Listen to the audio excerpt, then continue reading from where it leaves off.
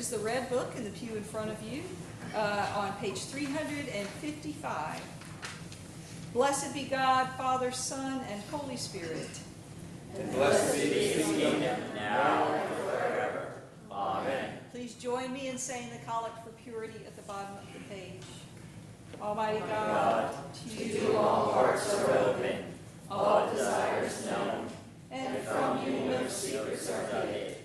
Cleanse the thoughts of our hearts by the inspiration of your Holy Spirit, that we may perfectly love you and worthily magnify your holy name. Through Christ our Lord. Amen.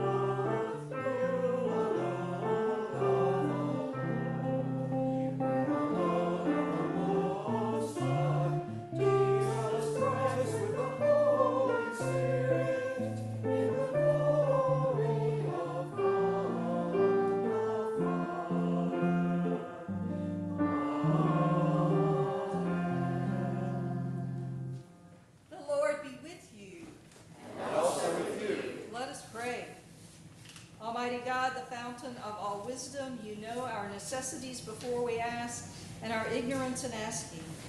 Have compassion on our weakness, and mercifully give those things for which on our unworthiness we dare not, and for our blindness we cannot ask. Through the worthiness of your Son, Jesus Christ our Lord, who lives and reigns with you in the Holy Spirit, one God, now and forever.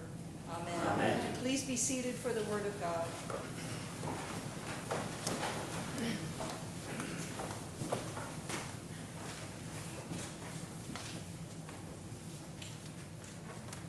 Our first lesson is a reading from the book of Genesis Jacob's dream, the ladder, and the promised land. Jacob left Beersheba and went to Haran. He came to a certain place and stayed there for the night, because the sun had set. Taking one of the stones of the place, he put it under his head and lay down in that place. And he dreamed that there was a ladder set up on the earth, and the top of it reaching to heaven. And the angels of God were ascending and descending on it. And the Lord stood beside him and said, I am the Lord, the God of Abraham your father, and the God of Isaac. The land on which you lie I will give to you and to your offspring. And your offspring shall be like the dust of the earth, and you shall spread abroad to the west, and to the east, and to the north, and to the south.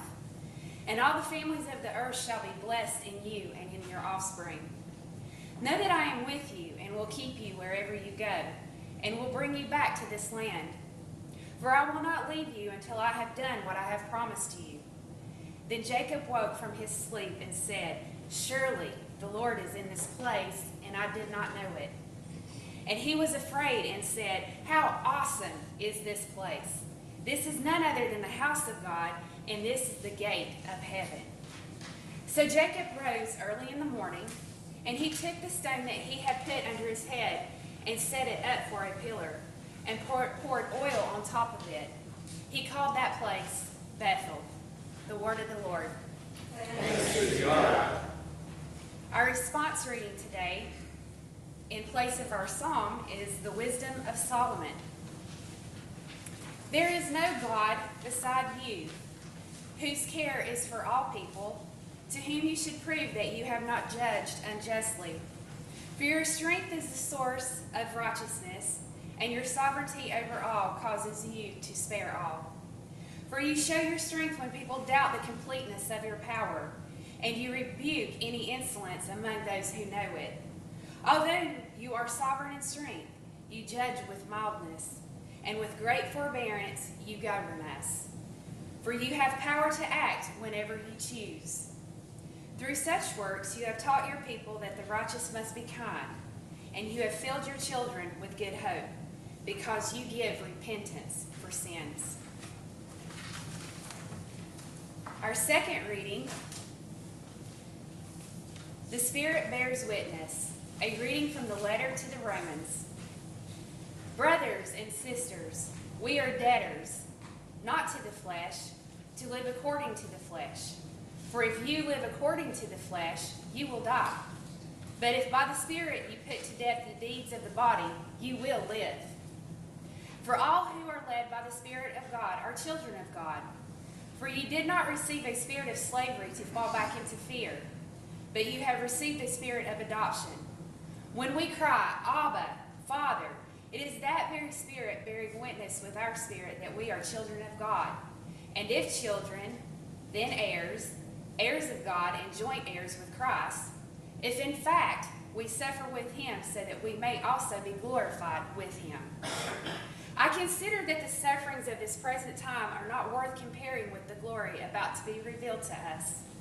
For the creation waits eager, longing for the revealing of the children of God. For the creation was subjected to futility, not of its own will, but by the will of the one who subjected it, in hope that creation itself will be set free from its bondage to decay, and will obtain the freedom of the glory of the children of God. We know that the whole creation has been groaning in labor pains until now. And not only the creation, but we ourselves, who have the first fruits of the Spirit, groan inwardly while we wait for adoption, the redemption of our bodies. For in hope we were saved. Now hope that is seen is not hope. For who hopes for what is seen? But if we hope for what we do not see, we wait for it with patience. The word of the Lord. Please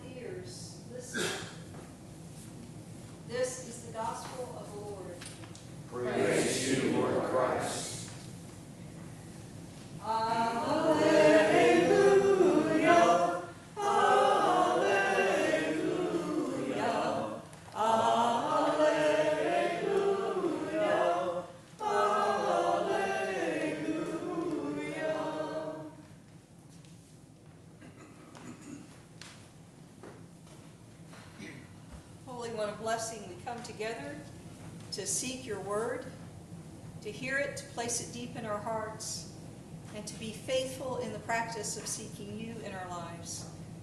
Help us, Lord. Be with us in that endeavor. Amen. Please be seated. So I, I, I heard something uh, in that reading, that very first reading about Jacob, um, that uh, you know, and you, and you hear the story so often that it just kind of gets in your head and you don't think about it. Um, but he, he goes until he's exhausted and he's got nowhere to stay. Apparently, he doesn't have a tent, doesn't have a blanket or a pillow or anything like that. And so he puts his head on a stone. And so he's lying in this stony, rocky kind of a place. I don't know about any of you. Have you ever been camping and slept like without a camp mattress uh, or a, or or a sleeping bag kind of a thing, and you're laying on stones, and the next morning you wake up and there's a root in your back, and you know maybe your head was on a stone or something like that. Um, I if if you haven't had that experience, I have, and I have to tell you, it's kind of uncomfortable, and to wake up and say. The Lord is in this place and I did not know it because of his vision uh, of, of the ladder of angels going up and down is, would be kind of a revelation that you might not have after a night like that. Uh, there was certainly this place, uh, when I was in the Diocese of Western Massachusetts, there was a retreat house where the clergy would go uh, on one of our, we, we would go to two different places, but on one of our, um, one of our retreats, we would go to this retreat house, and the beds were like, I mean, rocks. After, after the first time that you went there, after my very first night when I went there, and they, and the other clergy wouldn't tell you, you know. I, I went out to the REI and I got a, you know, a thin little camp mattress so that I could like, like wake up and have my hips move, uh, the next day. Um, but that place was so holy and so filled with prayer. It was a convent. It was so filled with prayer and the, the kindness and the beauty of the sisters and the work that they did in the world that we went back year after year after year and everybody just took their little camp mattress with them uh, to put on top of the bed. Uh, because we knew that the money that they saved on those mattresses was going back into the world to take care of people in the world. And so uh, you wake up, and in that kind of a place, you say, God is in this, in this moment, in this place, in this waking that I have, and I did not know it when I was laying there complaining and grumbling about the hardness of the mattress the first night. Um, so I've had that experience. And then we look at the gospel, and, and everybody focuses on one thing. Again, who, who wants to tell me what you probably focused on? Anybody? What's in that gospel? Furnace of fire? Weeping and gnashing of teeth? Yeah? Um, there are there are scary things in there that we might dwell on, but what we need to remember, uh, and we always need to remember this, that, that God judges us with love and compassion. We heard it in the wisdom of Solomon, we heard it in the reading uh, about Jacob, and we hear it in the gospel because Jesus said so. Uh, but while he judges us with love and compassion and kindness, uh, as we heard in the wisdom of Solomon, uh, and we have many, many opportunities to live a faithful, just, and merciful life, which is what we're being judged on. Are we faithful? Are we merciful? Are we compassionate? Are we kind? These are the things you get judged on. None of the other stuff matters if you do these things. I mean, they may matter if you hurt somebody, but if you uh, are compassionate and kind, you're not going to do that, right? Um, but we are judged. And Jesus says so, uh, that we are judged and that people who have ignored all of the chances that we have to live a compassionate and just uh, and merciful life uh, will be judged at the end of the kingdom and there will be weeping and gnashing of teeth. And he says that four times in Matthew's gospel. Four different times. He wants to make sure we hear that. And every, after every time he says, let anyone with ears listen, hear this. So the first time we heard it was in Matthew 8, when he was astonished and happy about the fullness of the faith of the centurion, who wasn't even one of the children of Abraham, and he expressed disappointment in those who claimed to be the faithful, who claimed to be part of the kingdom of God, who only gave lip service to their faith and showed up just to be seen, and who in their lives assumed superiority over other people that they deemed less worthy, like the centurion. Okay? Today's reading is the second instance in Matthew where he does that, and he makes it clear that we can grow into lives of spiritual health, we can be the good seed, or we can attach ourselves to death. And I'll talk about that a little bit more in a moment. Because the, the seed can is, is indistinguishable. Are you living a life that will change and that will moderate, where you are working on yourself throughout your life? I don't care how young or old you are, as long as you're working on yourself, you can at the harvest be pulled in as the good seed, as the wheat in this case. The third instance is in Matthew 24, in the parable of the wicked servant, a person who is put in charge of his fellow servants because uh, the owner of the house said, Oh, look, you're doing such a good job, I'm going to put you in charge of everybody. But instead of being a good steward of that position, he starts beating the other servants and starving them so that he could live it up, and privileged himself above, above others. Not compassionate, not merciful, not kind.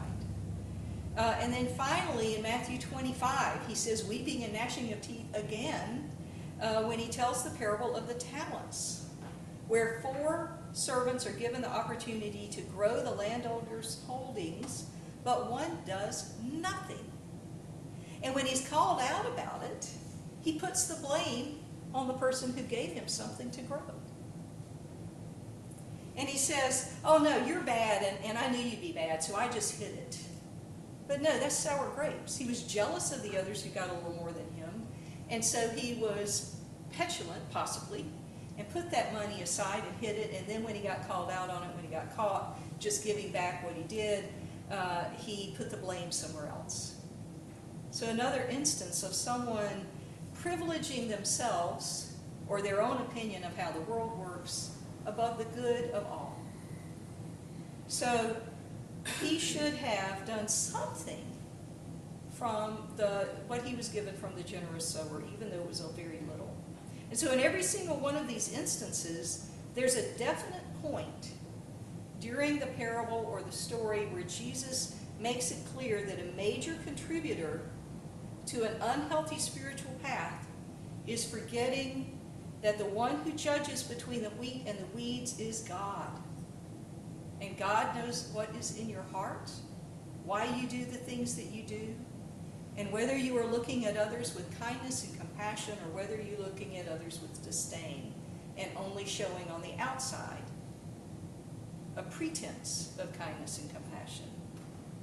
And only God can judge because only God knows our hearts.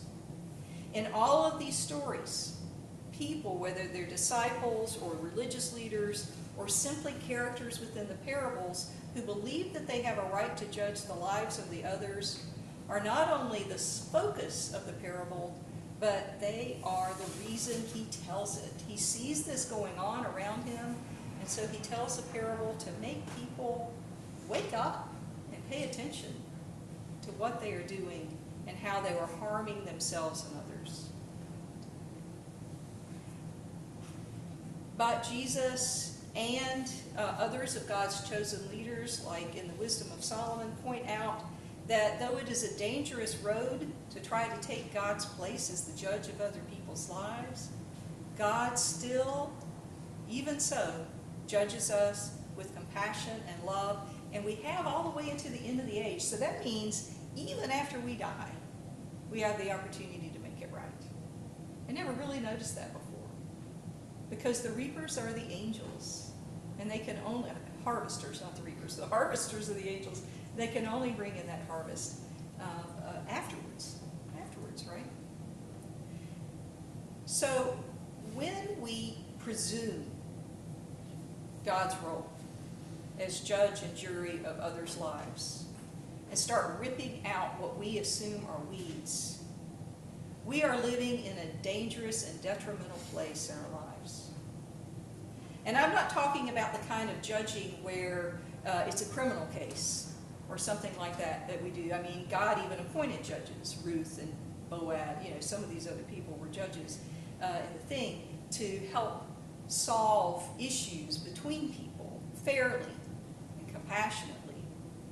Uh, and I'm not talking about judging a situation where your life might be in danger or something detrimental might happen to you or family if you do this thing. I'm talking about judging other people unfairly, unkindly, and unknowingly because you are not God. The parable of the wheat and the weeds, today's parable, exists in a series of teaching about that kind of behavior. Uh, and it began with the parable of the sower that we heard last week about generosity, um, connected to goodness and to our place in helping spread the good news, where we are to abundantly sow the goodness and the love of God. And that continues in this because the weeds and the wheat, it's okay, well, okay, so somebody came in and messed this up, or you think somebody came in and messed this, up, well, just leave it. Just leave it. You don't know which are the weeds and which are the wheat. at this time. So let, let's just leave it because uh, maybe what you think is a weed is actually good seed. The sower does no tidy rows, has no concerns about grains that fall among the rocks or the thorns, just faith that the seed will grow and spread itself into an abundant harvest. Same thing with this owner of the land. And between that parable of the sower and today's parable is the parable of the mustard seed. Okay, so another thing about judging something to be a weed, when in all actuality it is a thing of goodness. So how many of you like mustard? Show of hands. Can you imagine having a hot dog without mustard today? So back in the day, when Jesus was telling this, you know, mustard was not something that, uh, it was just, so it was weed, it was be, to be pulled up and torn out, but today it's a cash crop. Oh my goodness, it's a really good thing. Um, so, that was about an unloved seed in one era that uh, God knew would be sought after to give flavor and goodness to the world uh, in another era.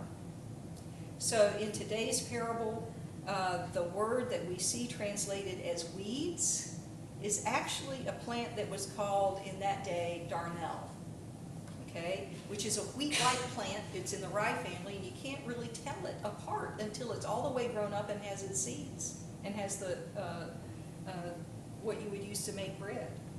And in that world, there were so many people that were in agricultural, because everybody grew their own wheat to make their own bread, that they understood what darnel was. And so when Jesus said the, the wheat and the darnel, they were going, oh, that's what got planted in there. Okay? Because knowing that it was darnel would help them to understand the parable a little better, even if they didn't get Jesus' explanation. Because darnel is subject to a, uh, a fungus that you can't see that grows inside that can infect bread that might be made with it or other products or when you are doing it, if you ingest it, you can get so sick that you can die from it. And before you die, you stagger around drunkenly, uh, which is part of the name behind it. And so knowing that darnel was something that could bring death, no wonder the, the, uh, the servants wanted to pull that stuff up as soon as possible. But the, the, um, but God said, no, don't do that because you don't know which is which, and you're going to kill the wheat. So um, remember me mentioning the parable was about spiritual health and spiritual death. So that's how Jesus works that in with the darnel. uh, Jesus is talking about people, though, not plants. How each of us has the potential to grow both good seed and weeds in our hearts. Gets into that when he talks about it. The grain of goodness is that life-giving grain, that life-giving things that we all do in our family or community. And the grain that is infected by a fungus is the is that those things that we do that can harm our families or our community by our behavior. Uh, the problem is that evil and the evil one often masks itself in what we might think is good. So we may think that we're doing something good or that we're on the side of good, when all actuality or we are we are we have been infected. We have been infected by ignorance or zeal. Uh, and we what we imagine are weeds may actually be God's good harvest that we could destroy through our actions or choke out. And then we become the thorns that choke out the seedlings. The question Jesus offers us in these parables and in all this kind of convoluted thinking um, seems to be who is willing to trust the harvest to be God's abundant sowing? Who is willing to trust that growing up, that thing that you think is a weed might become the good wheat? Rather than jumping in and destroying it because we think that we God and we can judge what is weed and what is good. It's a lot to take in. I know that. It's a lot about not trying to be God, but trying to be a servant of God. Of not judging one another unless we judge as God judges with compassion and mercy and kindness. Um, and trusting that God has it, God has us, and that all will be well. Amen. I want you to please stand now and turn to page three hundred and fifty-eight in the Book of Common Prayer. And let's affirm our faith in the one living God uh, through the Mass. We believe in one God, the Father, the Almighty, maker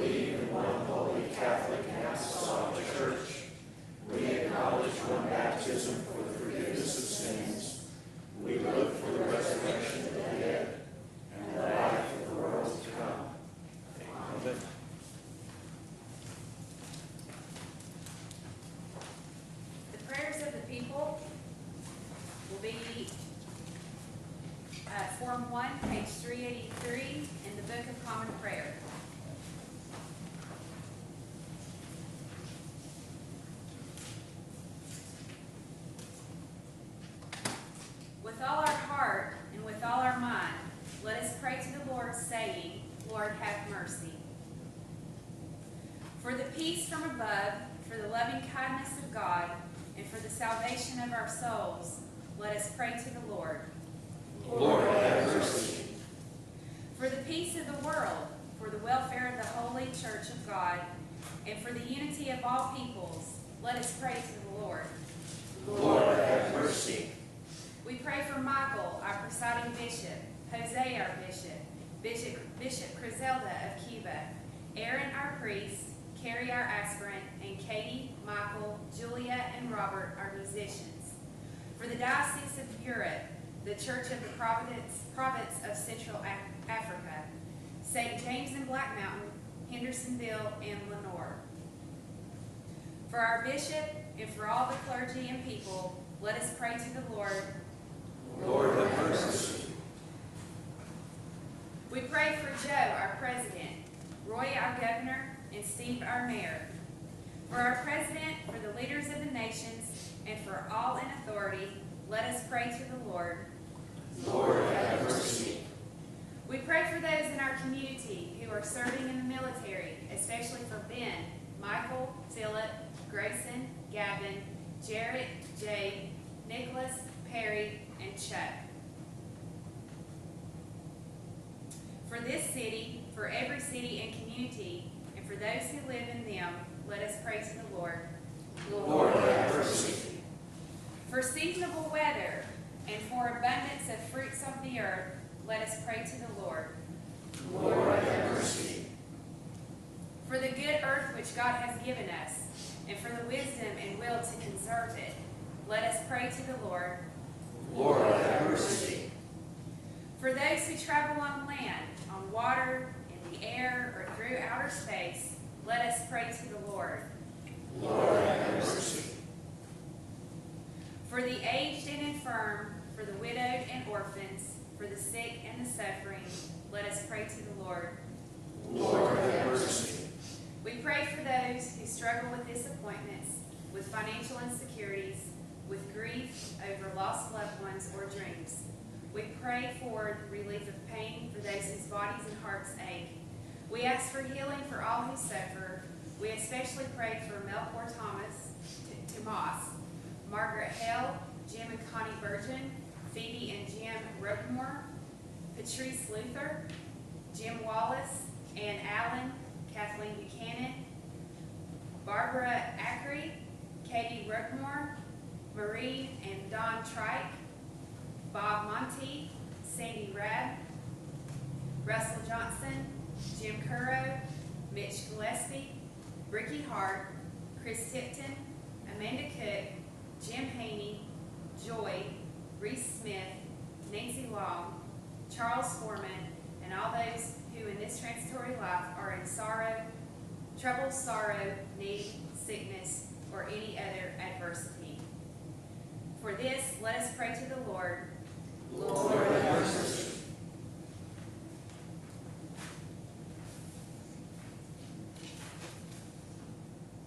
Lord, hear the prayers of your people and what we have asked faithfully grant that we may obtain effectually to the glory of your name, through Jesus Christ our Lord. Amen. Let us now confess our sins against God and our neighbor.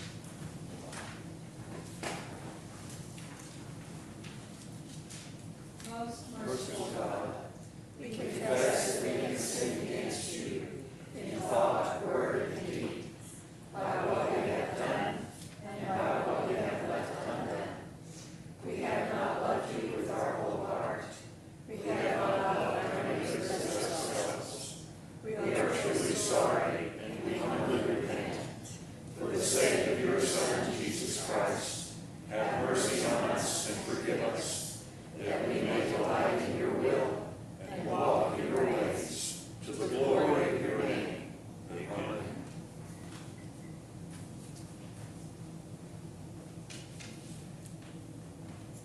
Almighty God, have mercy on you, forgive you all your sins through our Lord Jesus Christ, strengthen you in all goodness, and by the power of the Holy Spirit, keep you in eternal life. Amen. Amen. Please stand if you are not already doing so for the peace. The peace of the Lord be always with you. And also with you.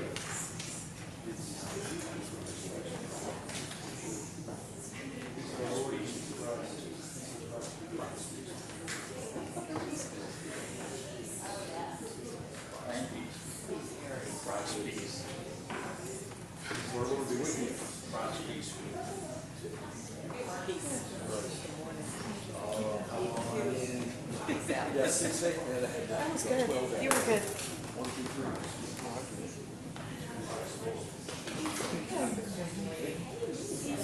That's our neighbor. I saw him grab his hand.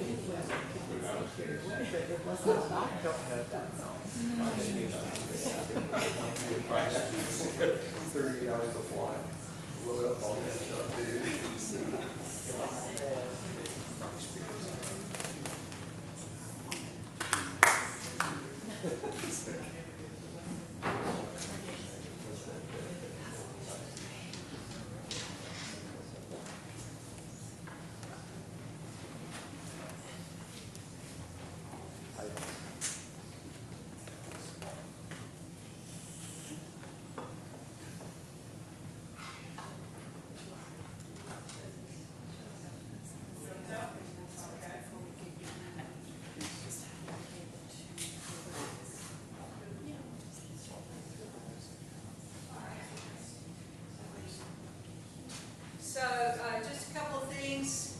Uh, Number one, uh, thank you to the Goodsons, I, I think, for preparing a coffee hour. Um, uh, uh, So we will have coffee hour down at the church, and at that coffee hour, uh, after we get our food and stuff like that, Mark Goodson, Mark, wave your hand, is going to explain Realm, which is our new communications and financial software and things like that, so that you can understand how to use it, how to put the app on your phone and, um, and see your stuff. And see other people's, uh, uh, that belong to the church, uh, that you only have access to and they only have access to, to be able to send your Christmas cards and all that kind of stuff out. The vestry did vote to, uh, get, um, the smallest number of texts, which is like four hundred texts a month. And since we would only send one to a family, Uh, we can do that like a bunch of times a month.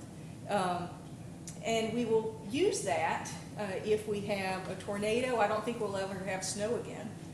But if we have some reason, Don't, don't say that. you know, uh, if, if for some reason we need to say, come to church on Zoom today, uh, you'll get a text uh, telling you that or an email. So, uh, uh, and for those of you who are not going to be able to use Realm because you don't do email or text, uh, someone who will call you. So uh, don't worry about that. But uh, Mark is going to explain how to do that. And if you got the message uh, inviting you to come and, and brought your laptop or your smartphone or something like that, we'll even sit with you and help you kind of see how that works. Or I will. Mark is looking at me like, what? I didn't say that.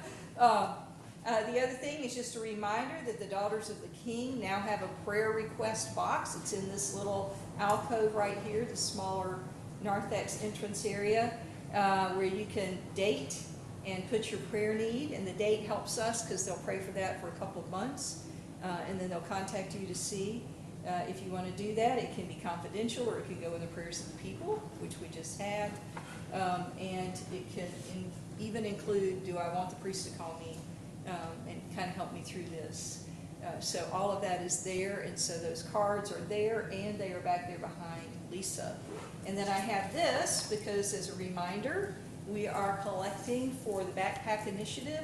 Last year, they had, what's the number on there, like eight hundred and ninety-three kids, Almost nine hundred. almost nine hundred kids that, uh, that needed help with their school supplies. And so we are collecting for that over the next month or so. Um, and you will see this basket go up and down the aisles, but it will also be back there at the usher station uh, for you when you come in, if you don't want to hold, you know, like Laura brought in these backpacks today, she probably want to sit, with- I don't blame her. Um, So we will be doing that uh, as well. And um, if you don't know it yet, uh, it, we said so, I think, I think it's just in the vestry minutes. But we decided to stop paying for a post office box. The rates keep going up and up, and it's like $125 or hundred and nineteen dollars or something every six months. And so we got a mailbox and attached it to the building. Uh, and so our new mailing address, if you happen to be one of those people that does bank, send the check to the, send my pledge to the church, uh, you need to change the address. And our address is on the front of your bulletin. It's three thirty-nine South Main Street. So, uh, do, that's the address of the parish house. So you'll need to go in and make sure that that gets changed. Uh, and if you want to send us a Christmas card when it's time, that'll be the new address. So, uh, that's already started, and I know that they'll forward it for about six months. But, um, at some point, you'll, you'll get that, you'll get that, uh, card back to you that says, at the- this, not at this address anymore. Right, so, are there other announcements? Yes, Lisa? At the behest of Karen Rockmore, I had Amanda make a sign-up sheet for Mountain Glory. So if you can come and help set up and take down or work during the day, please add your name. Okay. If you're new to the church, we always do a bake sale for And Mountain Glory. there's- Just to mention this, um, I'm always grateful for everyone that bakes, but last year, three of us took everything down. And we're not, we're getting older and we need help. So I'm, I'm not willing to have three people take it down. We can't have help taking it down. We just need to think about it. So Um, show up and help take that tent yeah, down. we have, we And all have that stuff. workers in the morning, because they want us off the street, so people swarm us and help us get Yeah. set up. Um, But when we're trying to get, ta- get it taken down, you know, Gail parks her truck down on Fourth Street Hill or one of those hills, and we're carrying tables and all that stuff down the hill to the car. What, what time does that occur? It, it ended at five last year, and we didn't have hardly anything left. So at five four. o'clock is when we need. Four people. thirty, Four- 4:30. you show up before four thirty. Yep. show up and So start- people just think about that, if you can't bake, if you got some, you know, arms and Yeah. legs that. Free work parking well, at the If- church. Okay, so, yeah, thank you, Karen. That's, that's important. We don't think about that. We think about getting our goods there, but not the, uh, the people that have been there all day. And maybe are not ready to carry a table. The tables are light, but It's the it's tent. a long, it's a height. Tables aren't that light, and the tents, The tent's a like. I'm not tall enough to, Oh, to pull that cover off. I too am height challenged, I Yes. understand that. So, Okay, anything else for the good of the community? All right. Um, oh, yeah, birthdays, anniversary, so it's Amanda Tippy's birthday and Jim and Amanda's, uh, anniversary, so we're gonna turn to the, Somebody else's birthday. huh? Was- Wasn't there two birthdays at the list? Yep. Jim Haney, and he's here, that's right, Jim Haney. Oh my goodness, that's right. Last year we all went to Jim Haney's birthday party, so, so the two Jims would stand. You can stand for Amanda, and for your. You can sit. Okay, turn to page eight hundred and thirty, okay, and we'll say prayer, please.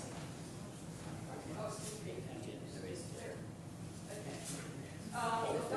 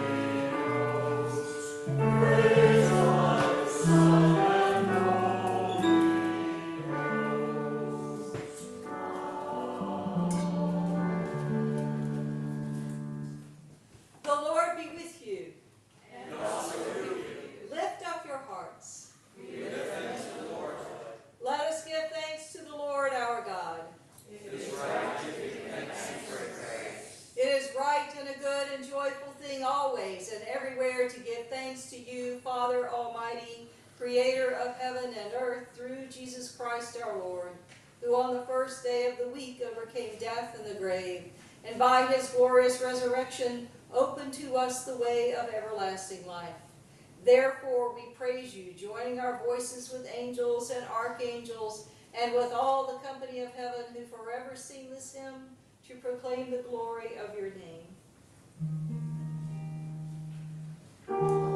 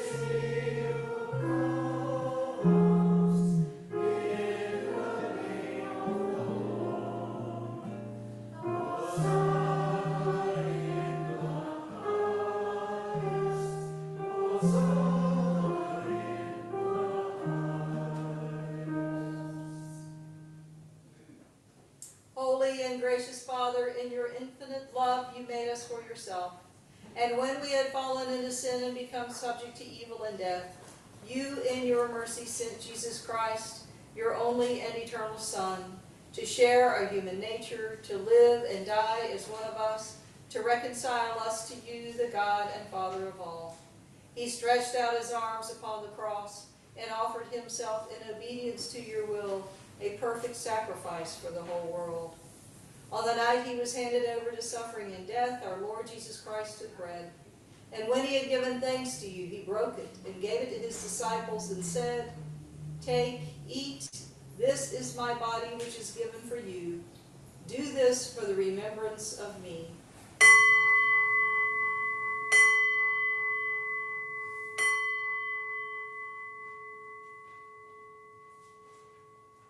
After supper, he took the cup of wine, and when he had given thanks, he gave it to them and said, Drink this, all of you. This is my blood of the new covenant, which is shed for you and for many for the forgiveness of sin. Whenever you drink it, do this for the remembrance of me.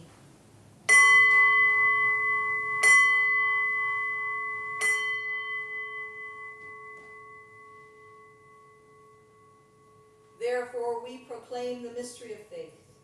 Christ has died. Christ is risen. Christ will come again. We celebrate the memorial of our redemption, O Father, in this sacrifice of praise and thanksgiving. Recalling his death, resurrection, and ascension, we offer you these gifts. Sanctify them by your Holy Spirit to be for your people the body and blood of your Son, the holy food and drink of new and unending life in him. Sanctify us also that we may faithfully receive this holy sacrament and serve you in unity, constancy, and peace. And at the last day, bring us with all your saints into the joy of your eternal kingdom. All this we ask through your Son, Jesus Christ. By him and with him and in him, in the unity of the Holy Spirit, all honor and glory is yours, Almighty Father, now and forever. Amen. And now, as our Savior has taught us, we are bold to say, Our Father, who art in heaven, hallowed be thy name. Thy kingdom come, thy will be done, on earth as it is in heaven. Give us this day our daily bread, and forgive us our trespasses, as we forgive those who trespass against us. And lead us not into temptation, but deliver us from evil. For thine is the kingdom, and the power, and the glory, forever and ever. Amen.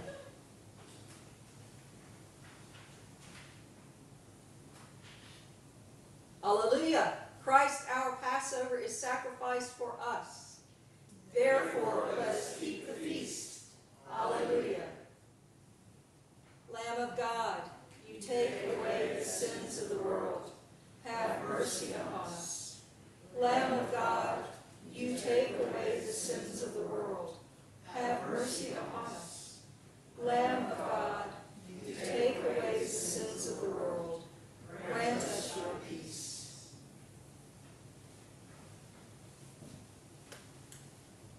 These are God's holy gifts for God's holy people.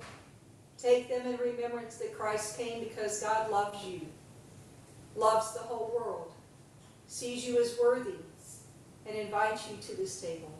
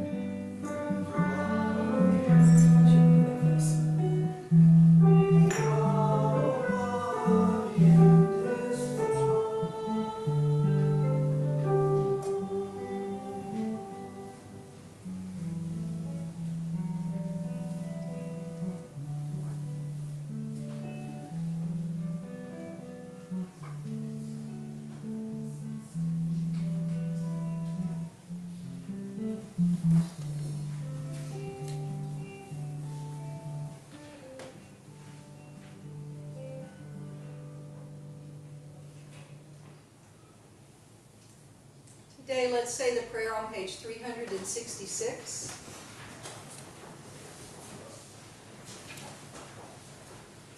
Almighty and ever-living God, we thank you for feeding us with the spiritual food of the most precious body and blood of your Son, our Savior, Jesus Christ, and for assuring us in these holy mysteries that we are living members of the body of your Son and heirs of your eternal kingdom.